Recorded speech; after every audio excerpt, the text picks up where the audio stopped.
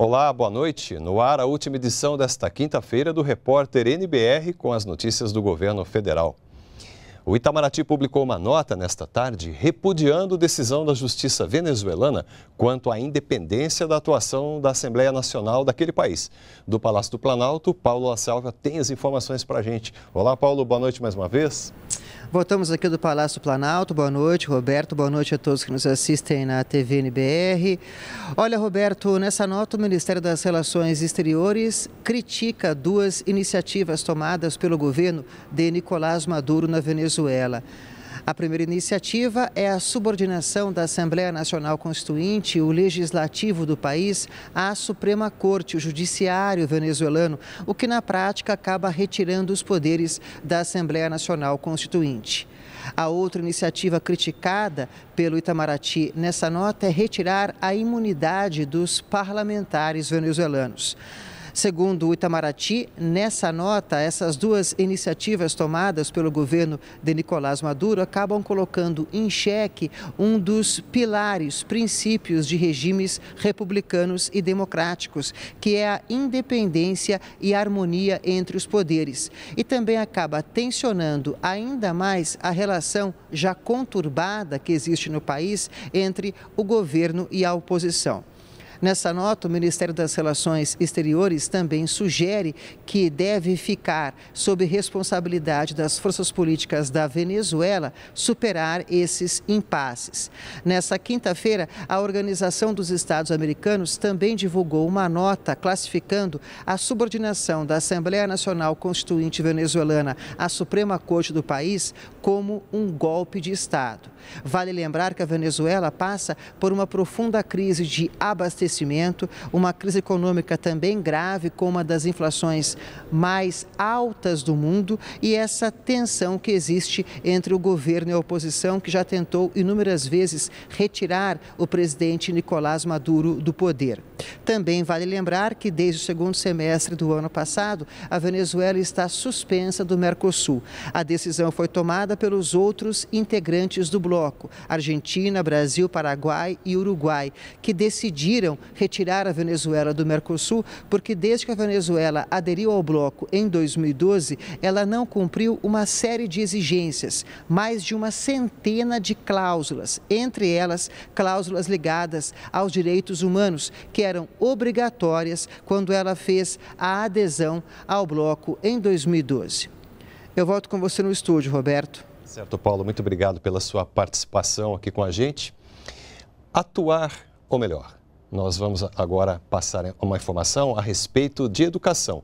Ensino em tempo integral e formação técnica profissional dos estudantes. A reforma do ensino médio já virou lei aqui no Brasil. E para financiar essas mudanças, o ministro da Educação, Mendonça Filho, está nos Estados Unidos.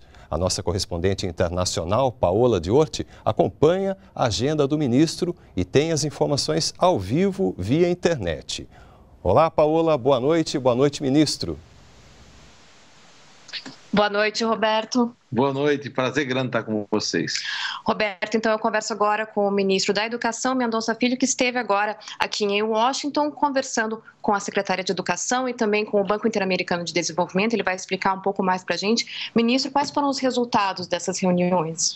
Bom, é, no caso da visita ao Departamento de Educação dos Estados Unidos, foi muito mais uma visita de cortesia à secretária de Estado de Educação do governo norte-americano.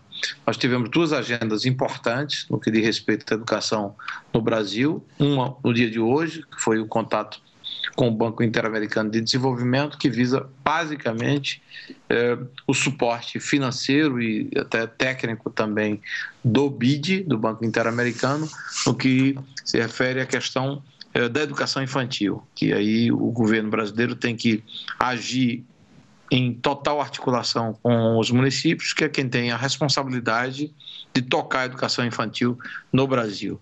E, ao mesmo tempo, também, com o BID, há uma possibilidade de nós obtermos algum apoio em termos de financiamento e suporte técnico para o MedioTech, que é um dos braços de oferta de educação técnica para estudantes que estudam em escolas públicas no Brasil. E ontem nós tivemos um contato também com o Banco Mundial, buscando o apoio do Banco Mundial para a chamada reforma do ensino médio, que é muito importante e é uma das prioridades do governo do presidente Temer.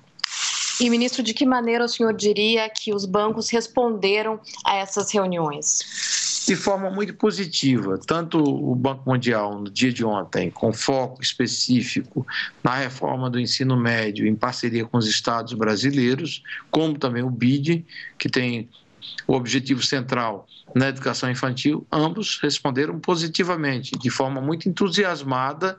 Nós já combinamos, inclusive, a elaboração de cartas consultas, que é a primeira etapa para a concessão de qualquer financiamento e de qualquer programa de apoio por parte dos, dois bancos, que pretendo elaborar as duas cartas no prazo máximo de 30 dias.